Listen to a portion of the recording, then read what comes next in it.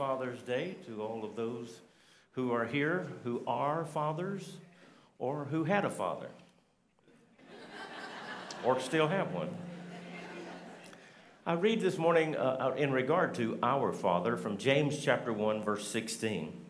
James says, Don't be deceived, my dear brothers and sisters. Every good and perfect gift is from above, coming down from the Father of the heavenly lights who does not change like shifting shadows, he chose to give us birth through the word of truth, that we might be a kind of firstfruits of all he created. This morning we come to worship. We worship our Heavenly Father. He is a good, good Father.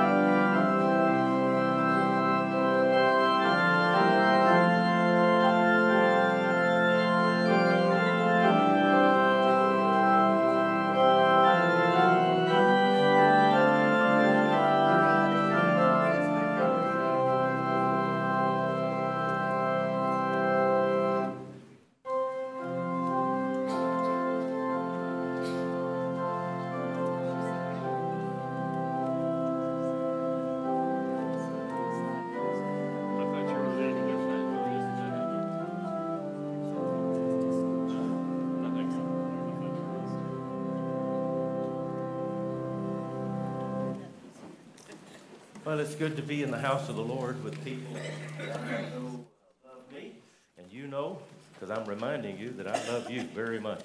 I appreciate you and all that you do. Um, not appreciate you for what you do, I appreciate you for who you are.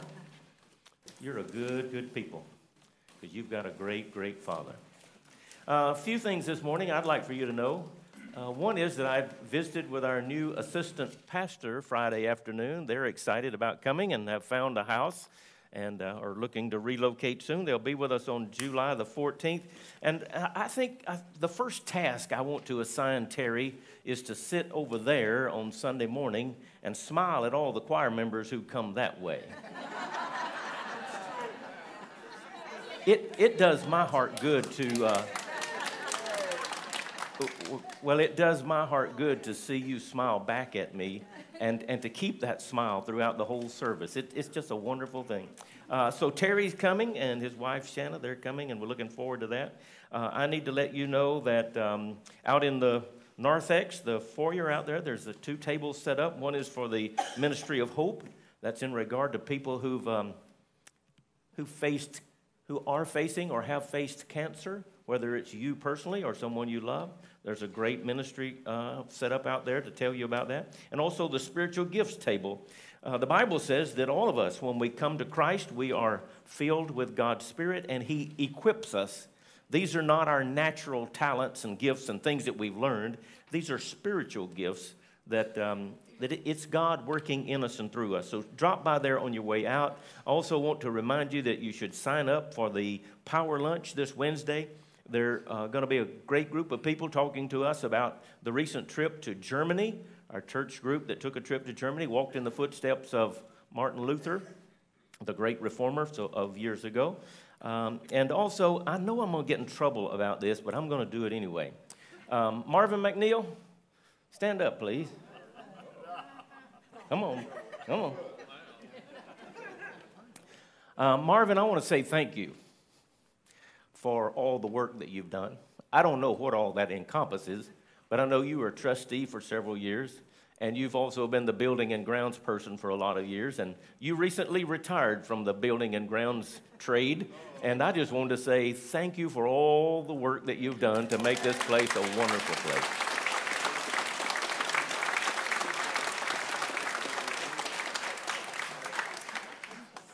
Do you want me to do this again at 11? Okay. I didn't, I didn't warn him, so uh, I, I, apologize for take, get, catching you off guard. Uh, this is, uh, let's see, do I have anything else? Oh, it's Cookie Day. Father Day and Cookie Day. So now the, the, the purpose of Cookie Day is to get us to uh, fellowship more because we are family, and family need to spend time together. And because somebody said, you know, it, it, it is now that we have four congregations, and some of us never see the other. Well, I know that in a congregation this size, even, some of you come in that door, some of you come in that door, and you leave that door, and you never do meet.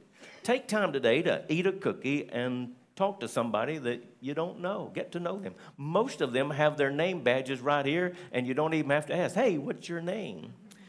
And I've come to learn in however long I've been here, it's okay to say, tell me your name again. Most people aren't offended by that. Um, I, I, in fact, I appreciate it when you come to me and say, You remind me of your name. I, I am getting better at, at recognizing names. And you may have noticed that I call a lot of you by your first name. If I can remember it, I do that. so, so you know if I don't, when I greet you, I don't call you by your first name, it's because um, I need help. And you're going to help me. Um, uh, this morning, I want to say uh, welcome to our um, two, two groups of people. Uh, one is our, I don't know what to call them, help me here, our streamers. Those people who join us because we have a camera back there that goes on the internet and people are watching um, from all over the United States, maybe all over the world, I don't know, but uh, there are a lot of people who join us every Sunday morning at 9. In fact, um, down at Provident Crossing, we have family members, our church family members down there, and they gather in a group on Sunday morning in their theater and worship with us. Yeah. So wave at them. Your choir, I want y'all wave at them. Good morning, good morning. We're so glad that you're here. Uh, I, I, was uh, got a report this morning that folks in where'd you say Wisconsin, uh, way up north, uh, uh, all over the world, huh? New Mexico. Wow, it even gets to New Mexico. Wow. Um, so we want to we want to welcome those folks and say uh, we're we're delighted that you're here. I, I trust that the warmth of this fellowship comes across the internet in some way so that the, you know that you are loved and appreciated uh, for who you are wherever you are. And the other group of people, wait a minute, huh? Your sister watches from South Africa. Wow. I wonder how long it takes uh, our signal to get from here to South Africa. Uh, the other group of people that we want to say welcome to this morning are those of you who are here for the ver- very first time. Uh, we want you to know that we are glad that the Lord uh, prompted you to come worship with us today. It may be that He did that um, by some friend or neighbor or whatever. That's good. And it may be that you just heard about the worship place somewhere, and I pray that you heard that it's such a warm fellowship. That is, that uh, people well, they don't tend to make space on the end of the row for you, but they do make place for you in there. um, there's room in our hearts um, for all that God will send. So, th- what we want to do is welcome those who are first time guests. And the way we do that is to invite you, if you're willing, to stand where you are, tell us your name and where you're from. And I'll start over here today. Anybody first time guest? What about this section? First time guest. All right. Good morning. Well, let's start right here, down front. Go ahead. Go ahead. Hi, I'm Erica. I just moved here from San Francisco. Erica just moved here from San Francisco. Welcome.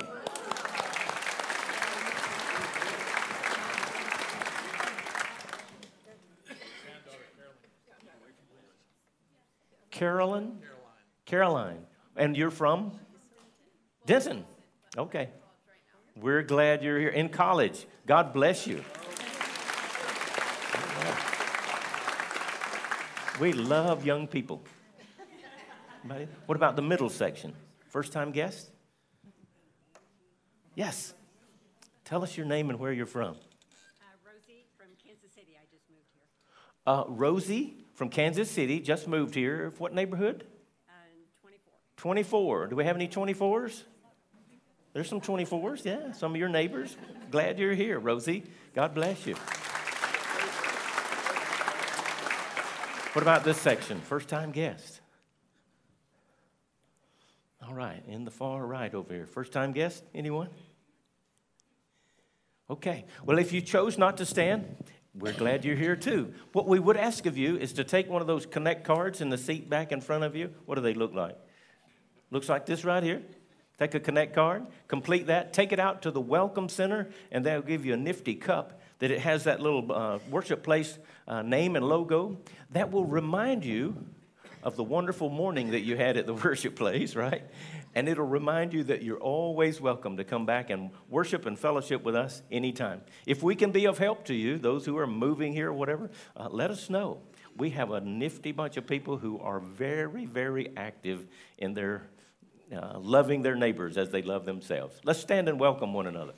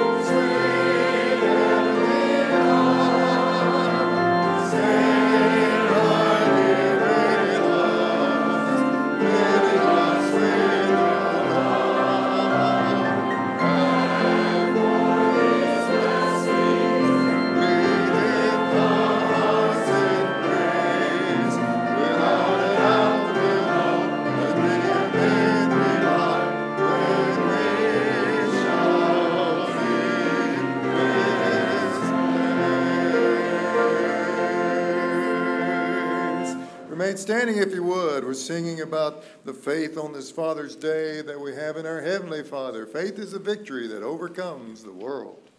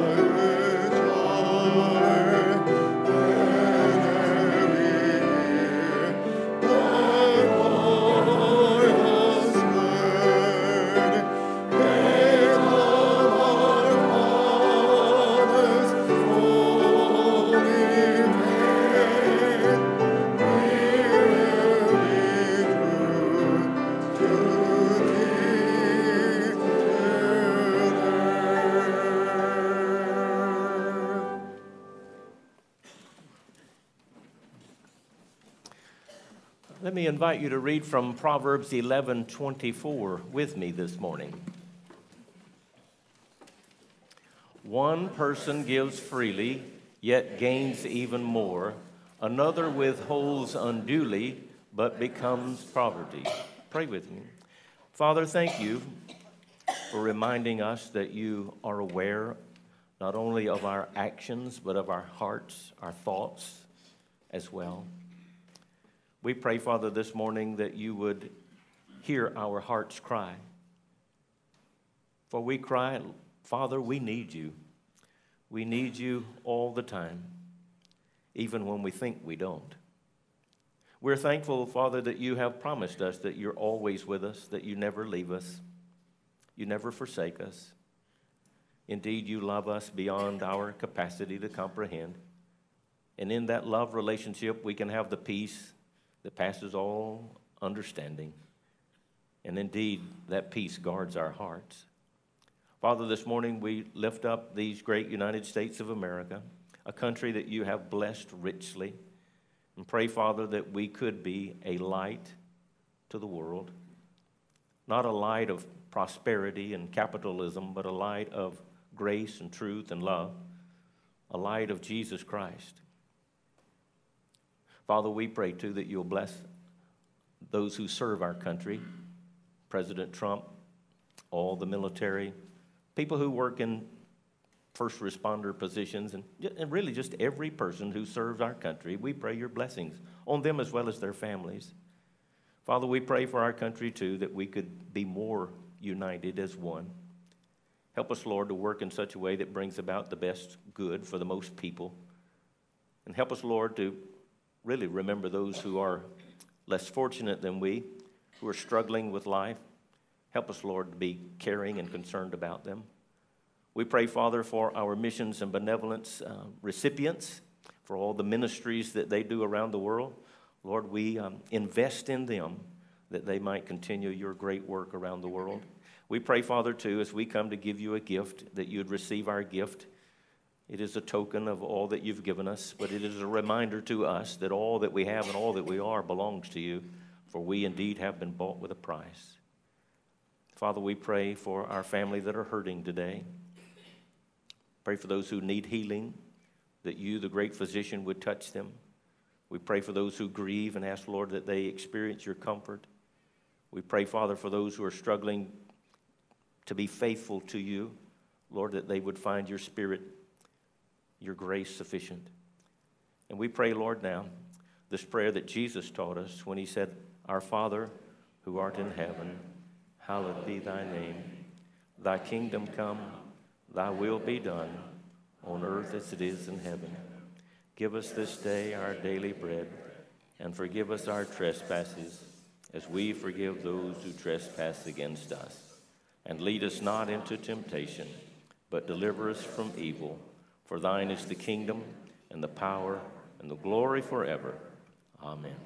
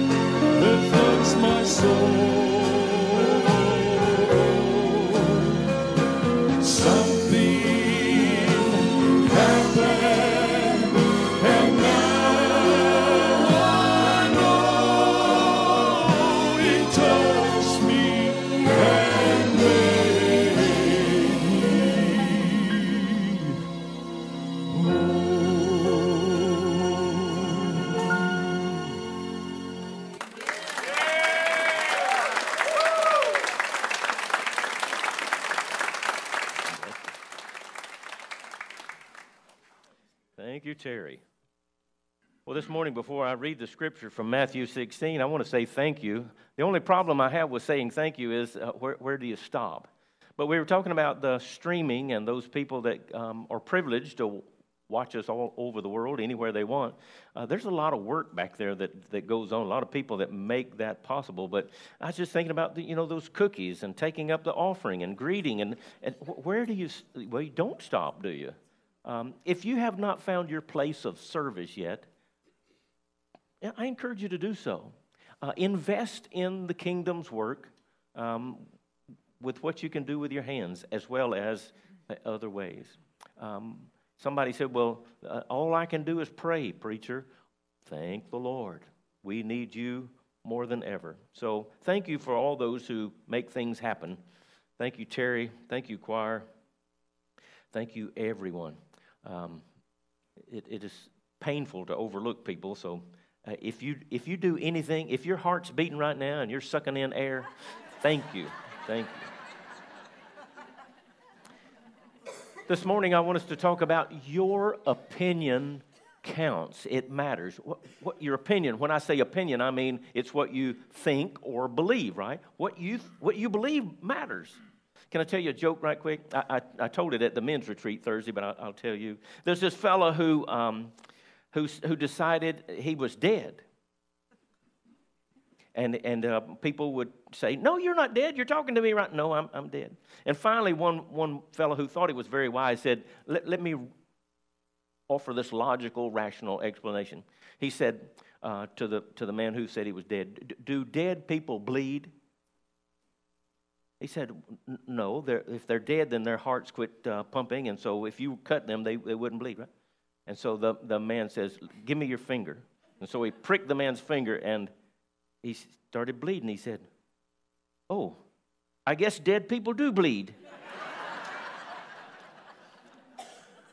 Your opinion matters.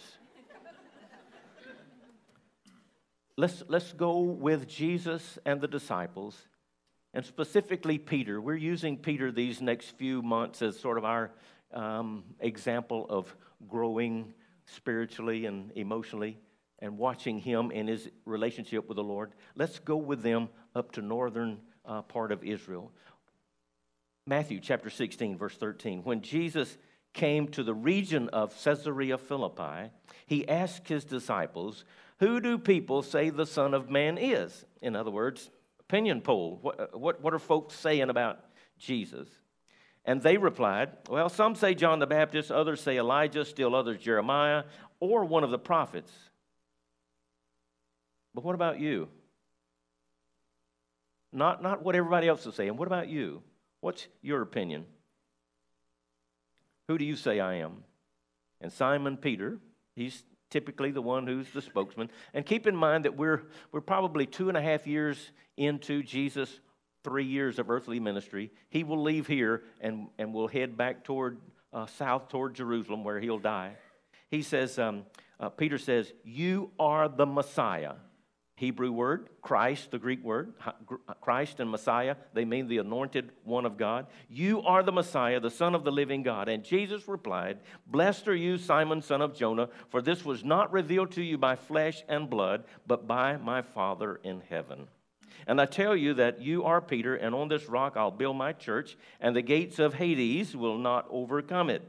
I will give you the keys to the kingdom of heaven, and whatever you bind on earth will be bound in heaven, and whatever you loose on earth will be loosed in heaven. And then he ordered the disciples not to tell anyone that he was the Messiah. I mean, it's two and a half years. There, this is the the um, the pinnacle of the ministry of our Lord when he's asking them, and um, he says, "Don't tell anyone."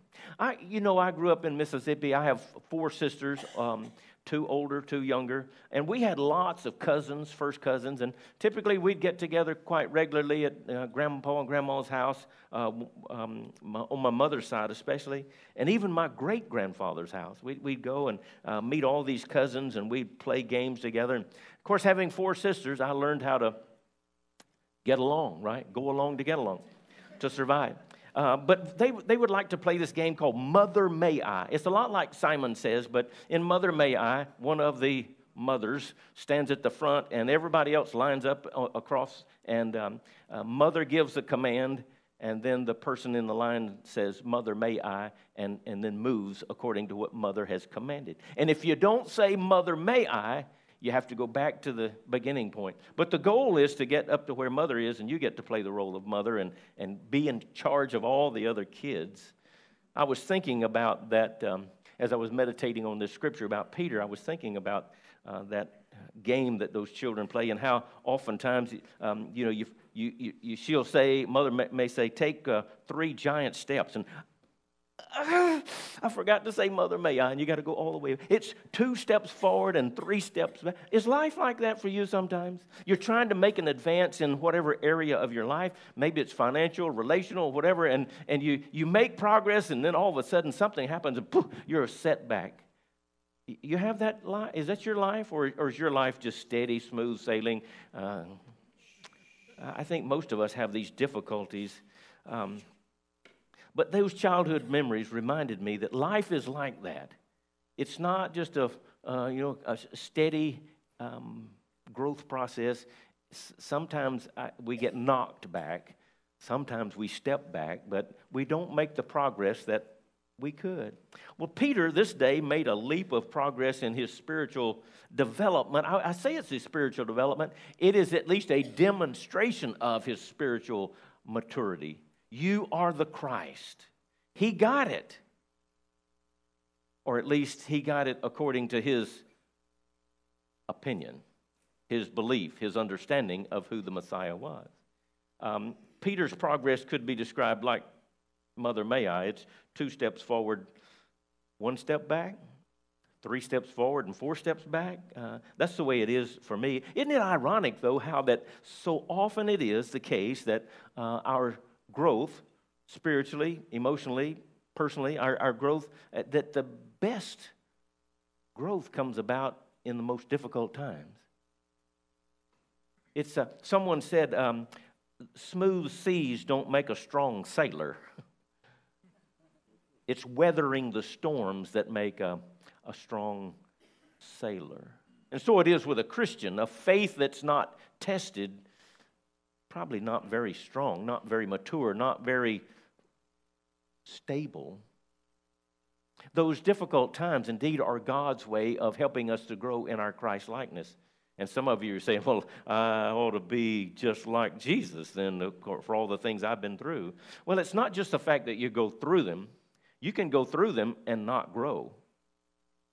It's growing through them and then seeing the Lord's hand in it and how He was with you all the time and blessed you, and that causes us to grow in our faith.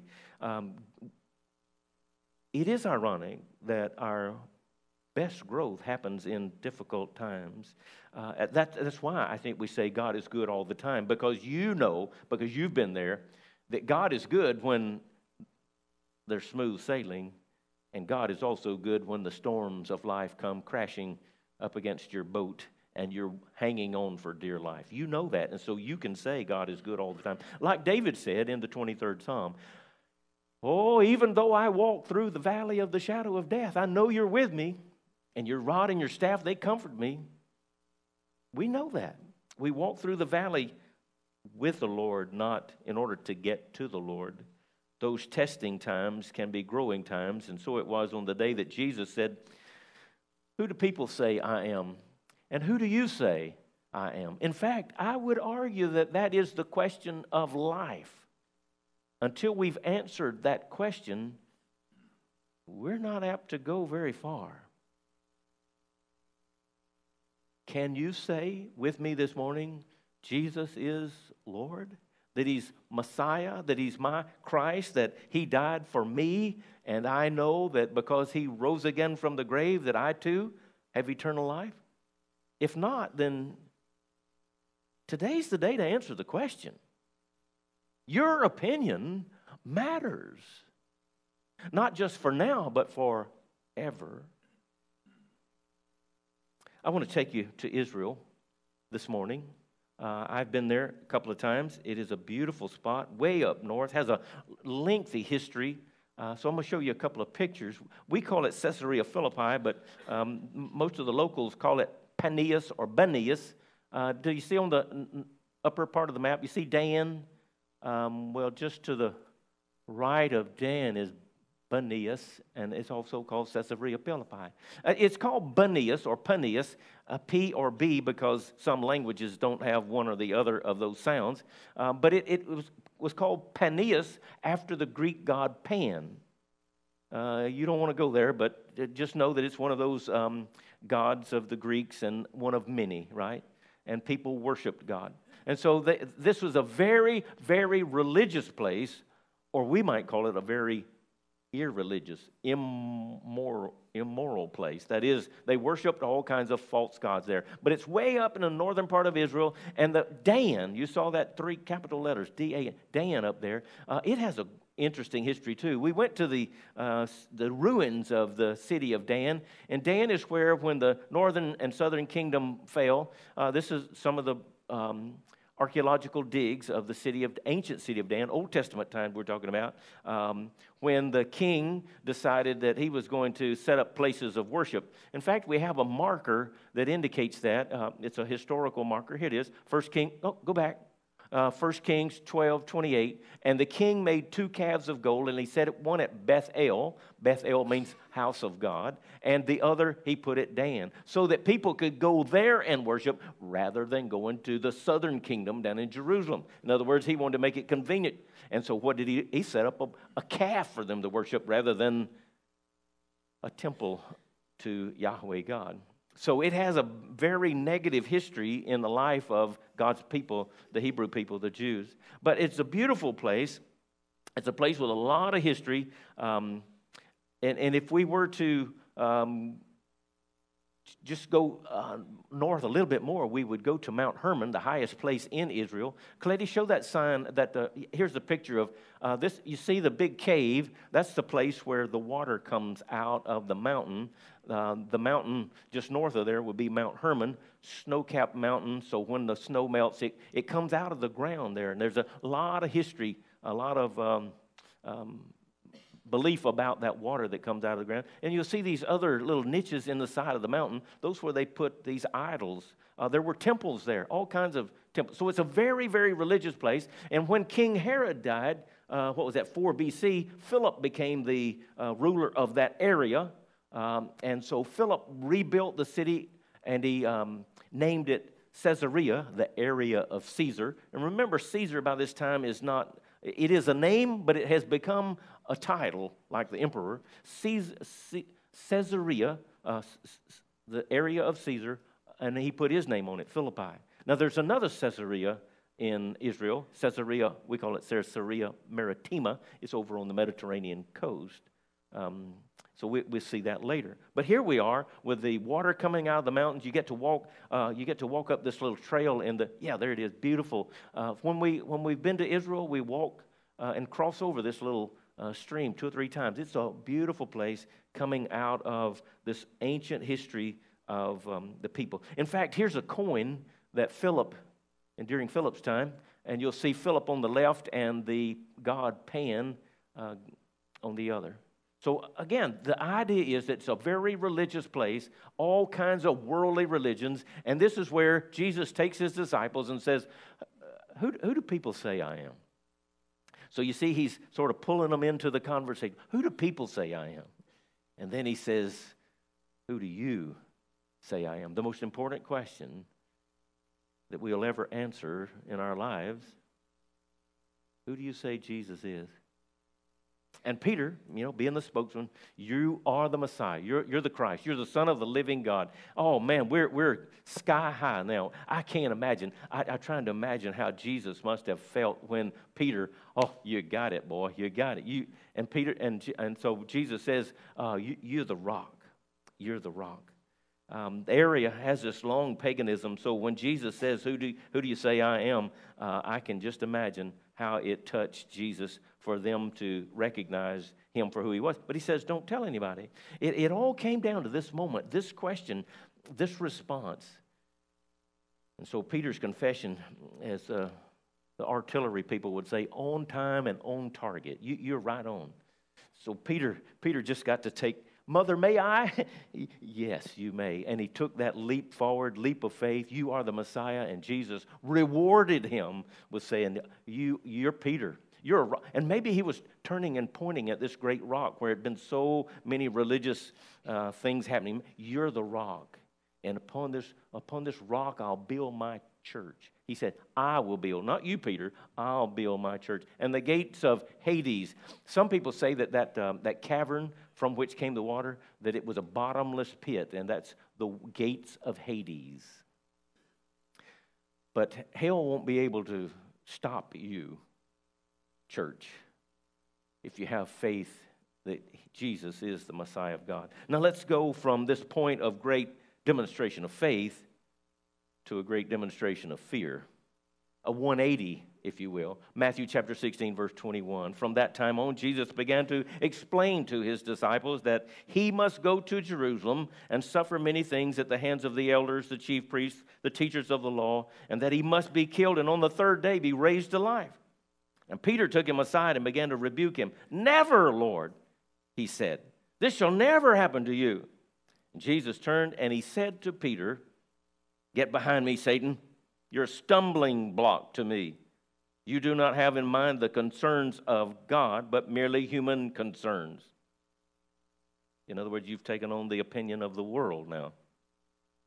Verse 24, and then Jesus said to his disciples, Whoever wants to be my disciple must deny themselves, take up their cross, and follow me.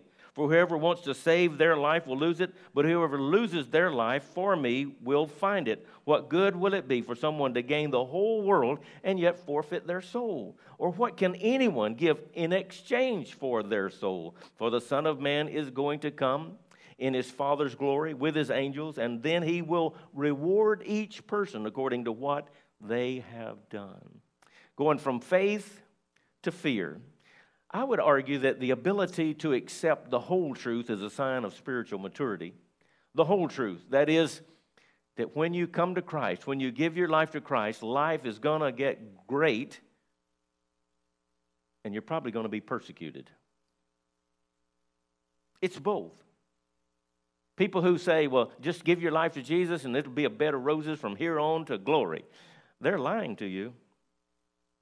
And I bet most of you can testify to it. Jesus said, In the world, you're going to have tribulation.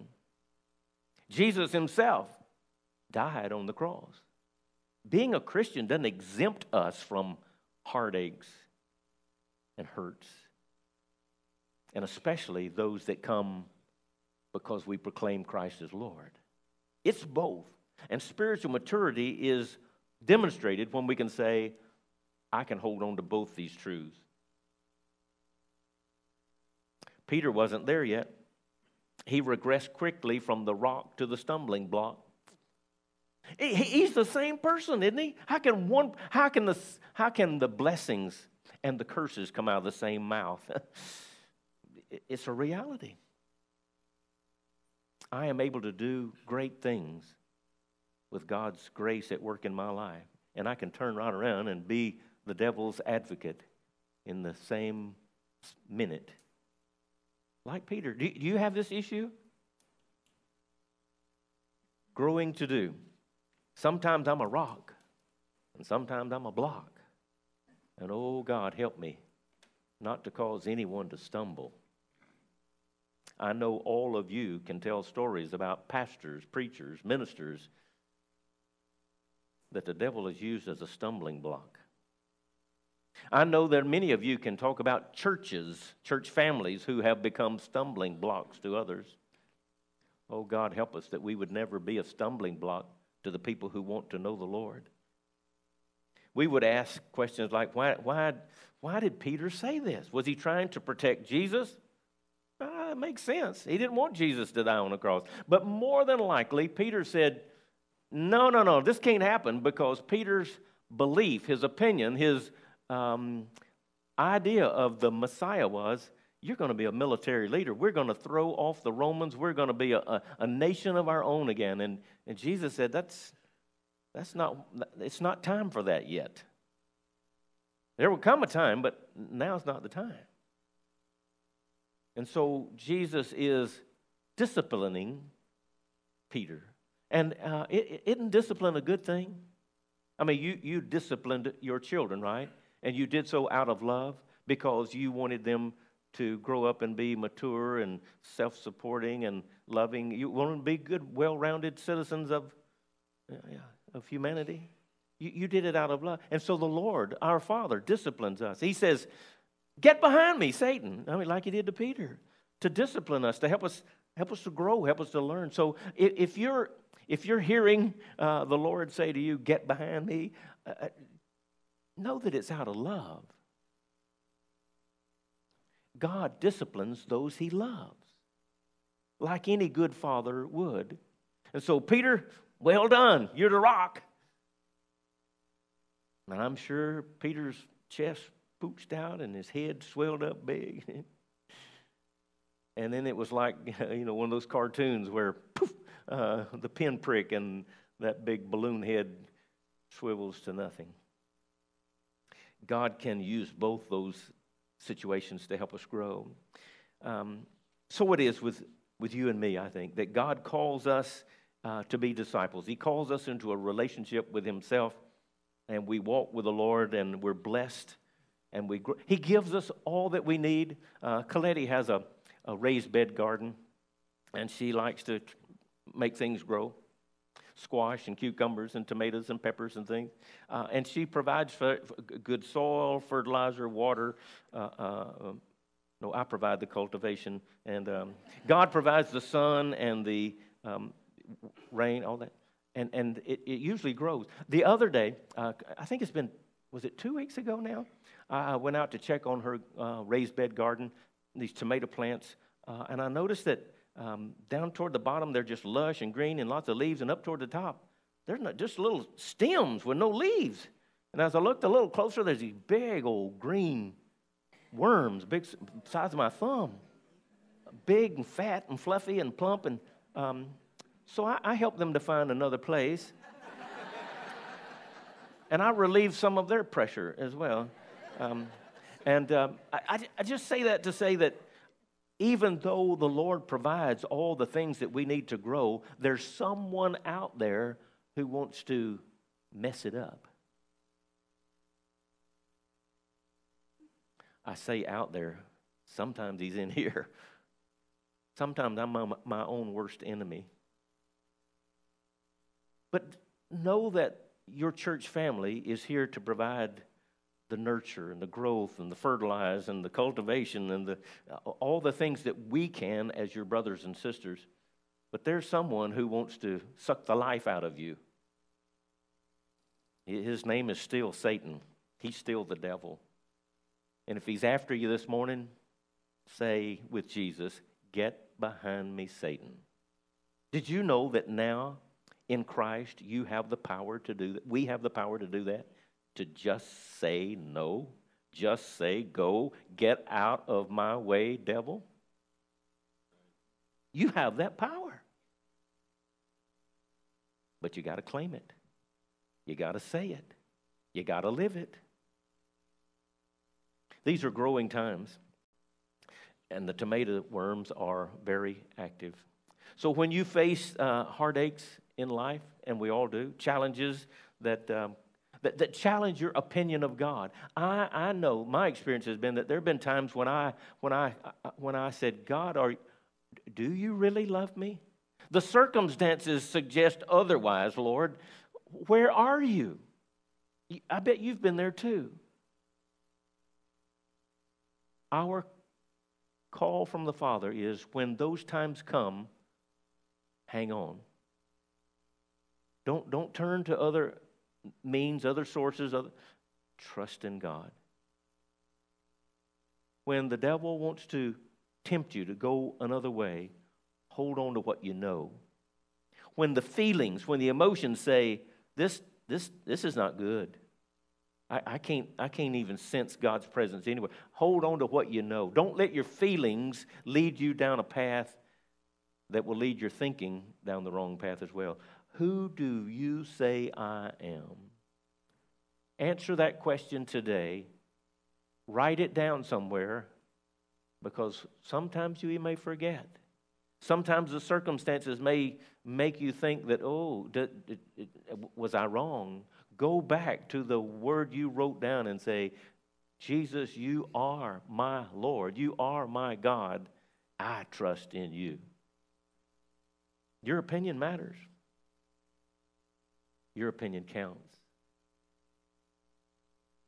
I remember many a coach saying way back when, um, believe it and achieve it. In fact, we've probably seen t shirts. A lot of school teachers use that, right? Believe it and achieve it. There's a lot of truth behind that. Let your faith do the walking.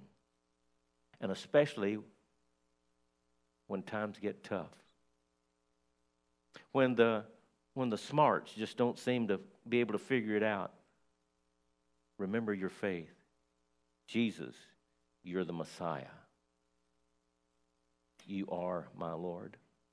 Your opinion matters. And Jesus said, Take up your cross, follow me. And when he was talking about the cross, taking up our cross, uh, he was not talking about, you know, the one that hangs around your neck or on the tabletop. He was talking about dying to self. You see, you can't live for yourself and for Jesus too. We live for Him, for His glory, and He takes care of all the rest. And then, as the scripture said, one day He will reward you for all that you've done. Some of us experience some of those rewards now, don't we?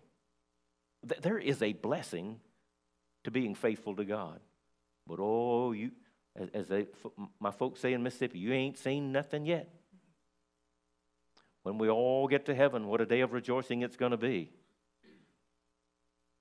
Reward day is coming soon. Be faithful. Be faithful to Him, to His Word. Pray with me. Our God and our Father, we bow before you to say thank you for your presence in our lives. We thank you for Jesus who died on the cross for us. We thank you for your Spirit who indwells us even now. We thank you, Father, for the Holy Spirit's work of conviction to uh, show us any sin in our lives, any wayward thinking. And Lord, uh, your Spirit's work to bring us back um, to looking to you, to trusting you in all that we do and all that we are. Father, I pray for those here today who, um, who are still not at the place yet where they can say, Jesus, you are the Messiah. I pray, Father, that your Holy Spirit is working even now. And that, Lord, that person could, um, Lord, that you'd give them the faith to profess Jesus Christ as Lord. And I pray for all of us who've known Jesus as Lord for many years, Lord, that we might be faithful and true to you and to your word. Lord, that we might be a lighthouse, we might be an example, that we might be a witness to who you are and all that you do. Father, thank you for loving us today, just as we are, but loving us too much to leave us that way. Now, Lord, we commit ourselves to you. Have your way with us, we pray in Jesus' name. Amen. Jim, come, let's sing. Stand, Stand and with close. With God be with you till we meet again. God be with you till we meet again.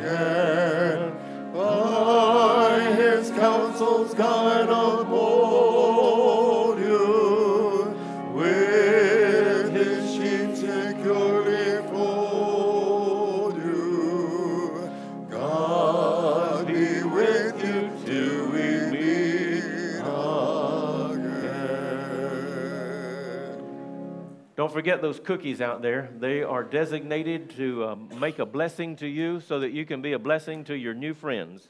God bless you and amen.